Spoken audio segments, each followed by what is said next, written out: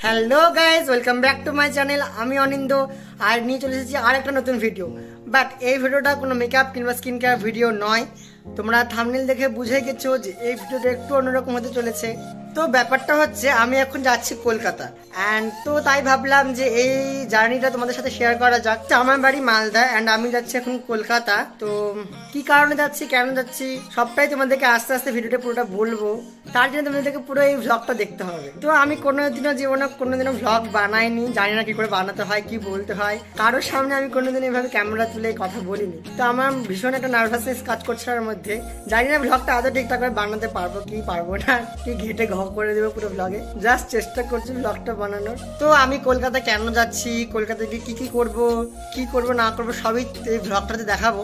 কিন্তু তার জন্য তোমাদেরকে ভ্লগটা পুরোটা দেখতে হবে। তো ভ্লগটা স্কিপ না করে পুরোটা দেখো ভুল ত্রুটি হলে অবশ্যই এটা আমাকে জানিও। তো চলো, আর দেরি না করে ভ্লগটা শুরু করা যাক। আর হ্যাঁ তুমি যদি আমার চ্যানেলে নতুন হয়ে থাকো, তো প্লিজ আমার চ্যানেলটাকে সাবস্ক্রাইব করে পাশে থাকা বেল আইকনগুলোকে প্রেস করে দেবে। অ্যান্ড প্লিজ ভিডিওটাকে একটা লাইক করো কমেন্ট করো শেয়ার করো। তো চলো লেট স্টার্ট তো এখন প্রায় বাজে সোয়া ছটা আমরা এখন বাড়ি থেকে বেরোবো। তো চলো ডাইরেক্ট তোমাদের সঙ্গে স্টেশনে গিয়ে দেখা হচ্ছে।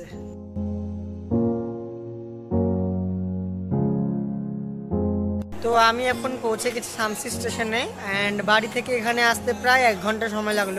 তো তোমরা হয়তো অনেকেই বলবে যে আমি কেন এখন কলকাতা যাচ্ছি মানে আমি কি ঘুরতে যাচ্ছি না কি করতে যাচ্ছি? তো আমি এখন কলকাতা যাচ্ছি চেক আপ করাতে। মানে আমার ট্রিটমেন্ট হয় অনেক রকমের ব্যাপার আছে, তো সেগুলো আমি এখন বলছি না বাট আমি যাচ্ছি কলকাতায় চেক আপ করাতে। অ্যান্ড আমি যেখানে চেক আপ করাই, সেই জায়গাটা হচ্ছে সল্ট লেকে ন্যাশনাল ইনস্টিটিউট অফ হোমিওপ্যাথি তার ঠিকানাটা আমি এখানে দিয়ে দিচ্ছি মেনশন করে দিচ্ছি। আমি ইউটিউবে এই টপিকে মানে সেই হসপিটালে যখন আমি প্রথম যাই, তো তখন সেখানকার বিষয়ে আমি খুব একটা ইউটিউবে ইনফরমেশন পাইনি। তো আমি ভাবলাম যে নিজেই একটা তাহলে ভিডিও বানানো যাক। তাহলে যদি আমার এই ভিডিও দেখে একটা মানুষেরও কোনো হেল্প হয়, তো সেটাই আমার জন্য অনেক। তো তাই আমি ভাবলাম যে ভিডিওটা বানানো যাক। ওখানে গিয়ে কি করতে হয়, কীভাবে অ্যাপয়েন্টমেন্ট নিতে হয়, কীভাবে টিকিট কাটতে হয়, কোথায় ওষুধ নিতে হয়, তো সেই সমস্ত ডিটেলসটা আমি ভিডিওতে পুরোটা বলব। তো তার জন্য তোমাদেরকে ভিডিওটা কিন্তু পুরোটা দেখতে হবে। কোথাও স্কিপ করে গেলে তোমরা কিন্তু ব্যাপারটা বুঝতে পারবে না। তোমাদেরকে ভিডিওটা পুরোটা দেখতে হবে। তো এখন বাজে সাতটা কুড়ি অ্যান্ড আমাদের ট্রেন আছে রাত্রি আটটা সাতান্ন মিনিটে সরি আটটা সাঁত্রিশ মিনিটে, আটে বাজার এক্সপ্রেস তো অনেকক্ষণ ধরে কলকাতা যোগবাণী এক্সপ্রেস দাঁড়িয়ে আছে দেখলাম, হয়তো একটু লেট ছিল ট্রেনটা অ্যান্ড আমাদের ট্রেন এই যে বাহান্ন মিনিট লেট এটা কোনো কথা? অ্যান্ড এই যে এলো তিস্তা প্রস্তা এক্সপ্রেস আজকে মনে হয় সব ট্রেনই লেট ছিল। অ্যান্ড তখন বাজে পনেরোটা অ্যান্ড হঠাৎ করে আমার সঙ্গে একটা বন্ধু দেখা হয়ে যায়, সেও আমার সঙ্গে একই ট্রেনে কলকাতা যাওয়ার ছিল। অ্যান্ড এই যে বাবা জীবন এলেন রাত্রি সাড়ে নটার দিকে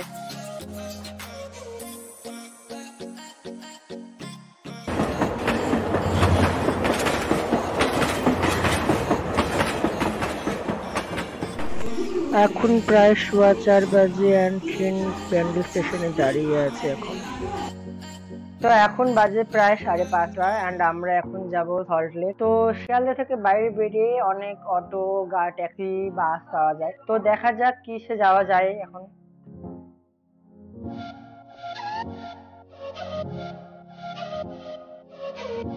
তো এখন বাজে সকাল ছটা। অ্যান্ড আমাকে অটো ঠিক একেবারে হসপিটালের সামনে নামিয়ে দিয়ে গেছে। এবং এখানে এসে কি করতে হয়, কোথায় টিকিট কাটতে হয়, তো আমি এখন সেটাই তোমাদেরকে এখন পুরোটাই এক্সপ্লেন করছি।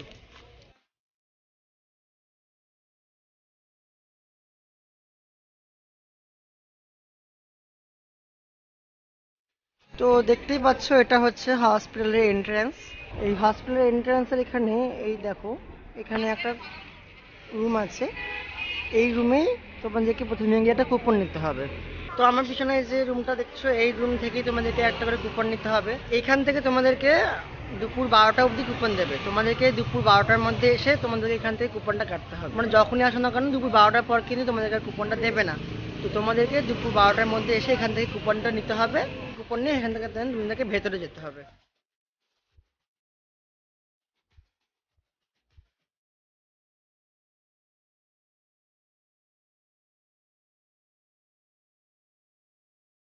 তো আমি তোমাদেরকে এখন পুরো ভিতরটা তোমাদেরকে দেখাচ্ছি। তো চলো। তো ঠিক ভিতরে ঢুকেই দেখতে পাবে, এখানে এরকম বসার সব চেয়ার ব্যবস্থা করা আছে, দেখতে পাচ্ছ এখন সকাল, তাই এখন এখানে সব এরা এখন পরিষ্কার করছে। তো এখানে বলছে যে এখানে যাদের ষাট বছর বয়স, তারাই শুধুমাত্র এখানে বসতে পারবে। অ্যান্ড তার নিচের বয়সের ঠিক তার উল্টো দিকে এই ঘর আছে। এই ঘরে তোমরা যাদের ষাট বছরের কম, তারা এখানে বসতে পারবে। অ্যান্ড মেন কাজ এখানে তোমাদেরকে হবে বলতে গেলে। তোমাদেরকে এখানে ওয়েট করতে হবে এখান এখানে তোমাদেরকে সিরিয়াল নাম্বার অনুযায়ী তোমাদেরকে ডাকবে অ্যান্ড দেন তোমাদেরকে এখান থেকে সেই কাউন্টারে যেতে হবে। তো এখানেই তোমাদেরকে লাইন দিয়ে দাঁড়াতে হয়। তো এখনও যেহেতু নটা বাজেনি প্রায় নটা থেকেই কাজটা শুরু হয়। এখন এখানে পরিষ্কার করা তেমন একটা হয়নি, একটু পর এখানে পরিষ্কার করে দেবে। আর নটা ঠিক বাজলেই তোমাদের এখানে সব ভিড় হবে অ্যান্ড সেটা আমি তোমাদেরকে দেখাবো আস্তে আস্তে। এখানে যে বললাম, এখানে সব বসার চেয়ারগুলো করা আছে। তার ঠিক সামনে, এই যে দেখছ, এইটাই হচ্ছে তোমাদের এখানে কাউন্টার তোমরা ওই বাইরে থেকে কুপন কেটে এসে এখানেই তোমাদের, ওই ঘরে তোমাদেরকে ওয়েট করতে হবে। আর তোমাদের নাম, তোমাদের টুকন অনুযায়ী তোমাদের নাম ডাকা হলেই তোমাদের এইখানে এসে তোমাদেরকে পাঁচ টাকা দিয়ে একটা করে টিকিট কাটতে হবে। এই হচ্ছে সেই কাউন্টার এখানে এক, দুই, তিন, অনেকগুলো কাউন্টার আছে। এখানে কিছুই না যখনটা ওপেন হয়ে যাবে তখন তোমাদেরকে এখানে জাস্ট পাঁচ টাকা দিয়ে তোমাদেরকে মানে টিকিট করাতে হবে। তোমাদের নাম, তোমাদের অ্যাড্রেস তোমরা কি সমস্যা নিয়ে এসেছ? তো সবটা তোমাকে যেখানে বলতে হবে এখানেই তোমরা তোমাকে সেইটা স্লিপ দেবে এবং সেখান থেকে তোমাদেরকে মেন হসপিটাল বিল্ডিংয়ে যেতে হবে। তো এখানে হসপিটাল কবে কবে বন্ধ থাকে সেটা দেওয়া আছে। যদিও এখানে তেইশ সালেরটা এখনও আপডেট করা হয়নি বাট তেইশ সালেও এই সেম অকেশন গুলোতেই হসপিটাল বন্ধ থাকবে। অ্যান্ড এই হসপিটালে কোন কোন পরিষেবা দেওয়া হয় সেটাও তোমরা একবার নিজের চোখে দেখে নাও। তো এখন যেহেতু সকাল, তাই এখন কাউন্টারগুলো কোনোটাই খোলেনি। সবগুলো জাস্ট পরিষ্কার করা হচ্ছে। কিন্তু তোমরা যত তাড়াতাড়ি আসবে, তত তাড়াতাড়ি ওই কুপনটা নিতে পারবে মানে টোকনটা নিতে পারবে। অ্যান্ড ওই টোকনটা না হলে তাহলে যত তাড়াতাড়ি তোমাদের টোকন না হবে, তত তাড়াতাড়ি তোমরা সেইখানে কাউন্টারে সেই মানে রিসিপ্টটা পাঁচ টাকা দিয়ে সেই বিল করিয়ে তোমার তখন হসপিটাল মেল বিল্ডিংয়ে আসতে পারবে। তাই তোমাদেরকে আগে থেকেই টোকনটা কেটে নিতে হবে। আমি তোমাদেরকে চলো পুরো একবার হসপিটাল বিল্ডিংটা ভালো করে দেখাই, যতটা দেখানো সম্ভব।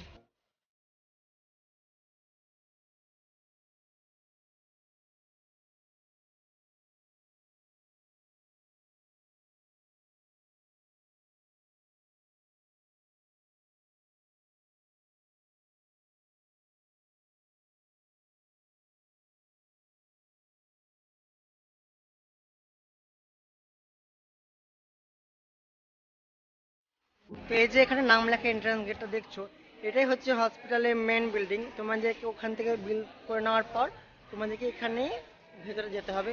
এবং সেই যখন বিল করা হবে, তখন সেখানে ওনারাই বলে দেবেন যে তোমাদেরকে কোন কাউন্টারে যেতে হবে।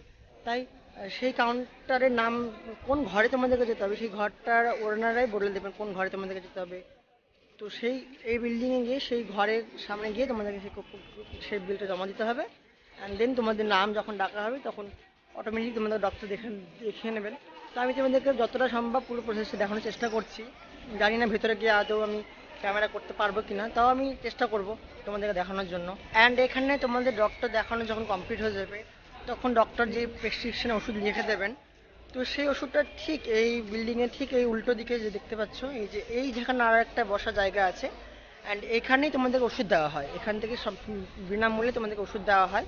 তো তোমাদেরকে সেই প্রেসক্রিপশনে যে ওষুধটা লিখে দেওয়া হবে, সেটা তোমাদেরকে সেখানে জমা দিতে হবে অ্যান্ড দেন তারা এখান থেকে তোমাদেরকে ওষুধটা দিয়ে দেবে। তো এই যে এখানে এখন সবাই লাইনে দাঁড়িয়েছে এন্ড এখানে সবাইকে এখন সিরিয়াল নাম্বার অনুযায়ী নাম দেখা হচ্ছে। অ্যান্ড দেন এখানে নাম অ্যাড্রেস দিয়ে অ্যান্ড পাঁচ টাকা দিয়ে একটা স্লিপ করতে হচ্ছে। অ্যান্ড কোন ফ্লোরে কি আছে, সেই ইনস্ট্রাকশনটাও তোমরা এখান থেকে দেখে নিতে পারবে।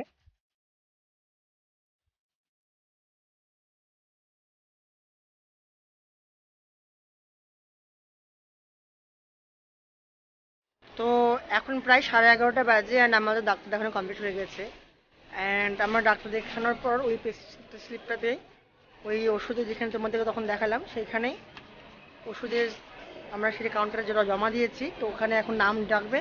আর নাম ডেকে ডেকে সেখান থেকে তোমাদের প্রত্যেককে ওষুধ দেবে। তো সেখানে একটু সময় লাগে। ডাক্তার তাদের দেখানো হয়ে গেলে ওখানে একটু সময় তোমাদেরকে ধৈর্য ধরে ওখানে বসতে হবে। তো এটাই হচ্ছে সে ওষুধের কাউন্টার এখানে দেখতেই পাচ্ছ কত সবাই ওয়েট করছে বসে বসে। অ্যান্ড এখান থেকেই তোমাদেরকে নাম ডেকে ডেকে সবাইকে ওষুধ দেওয়া হবে। তাহলে বুঝতে পারলে যে এখানে মাত্র পাঁচ টাকা লাগে। আমি পাঁচ টাকা দিয়ে এখানে ডাক্তার দেখানো, ওষুধ নেওয়া সব কিছুই বিনামূল্য হয়ে যায়। এটা পুরোটাই একটা সেন্ট্রাল গভর্নমেন্টের সেন্ট্রাল গভর্নমেন্টেরই একটা হসপিটাল এটা বলতে গেলে হোমিওপ্যাথির অ্যান্ড আমি তোমাদেরকে ওই যে ওখানে কাছের ঘরটা দেখালাম। ওই কাছের ঘরের ওই ঠিক পিছন দিকে তোমাদের ওখানে ওয়াশরুম আছে। মেল ফিমেল সবার জন্য ওখানে ওয়াশরুম আছে। ওটা ওখানে তোমরা চাইলে ওয়াশরুম ইউজ করতে পারো। অ্যান্ড হসপিটাল গেট যেখানে কুপন দেওয়া হয়, সেই গেট থেকে বেরিয়েই ওইখানে অনেকগুলো খাবারের দোকান পরপর আছে।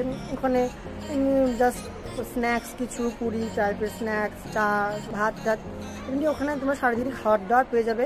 অ্যান্ড ওই হসপিটালের গেটের সামনেই ওখানে বাস অটো ট্যাক্সি সবই পাওয়া যায়। তো তোমরা সেখান থেকে যেখানে যাবে, সেইখানে আবার সেই অটো, ট্যাক্সি তোমাদেরকে নিয়ে চলে যাবে। তো মানে খুবই ইজি মানে তেমন কোনো হেক্টিক কিছু নেই। জাস্ট তোমাদেরকে একটা সারাদিন তোমাদেরকে হাতে সময় নেই, তোমাদেরকে আসতে হবে। কারণ ডক্টর দেখানো হয়ে গেলেও তোমাদের ওষুধ নিতে একটু দেরি হতে পারে। অ্যান্ড তোমরা যত সকাল সকাল আসবে, তত সকাল সকাল তোমাদের ডক্টর দেখানো হবে।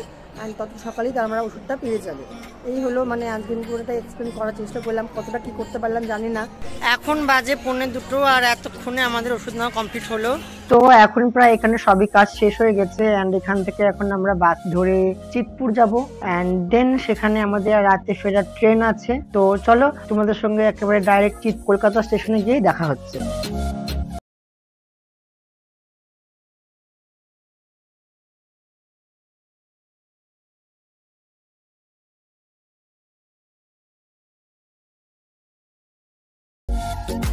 তো এখন বাজে বিকেল পাঁচটা অ্যান্ড আমরা এখন কলকাতা স্টেশনে আছি।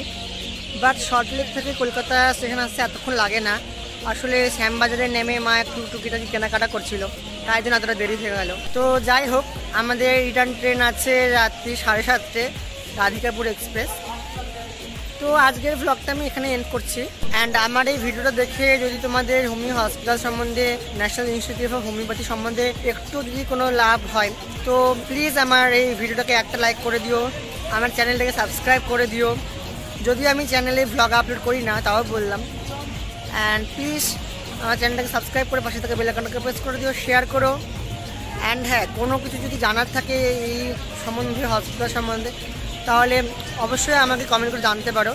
অ্যান্ড আমি এটা ফার্স্ট ভ্লগ বানালাম। তো কেমন কি করতে পারলাম আমি জানি না। জাস্ট চেষ্টা করেছি, অনেক কিছু বাদ চলে গেছে, আমি বুঝতে পারছি। চেষ্টা করলাম, যেটুকু পারলাম, করলাম। অবশ্যই বলো কেমন লাগল। খুব ভালো থেকো তোমরা, দেখা হচ্ছে নেক্সট কোনো ভিডিওতে বাই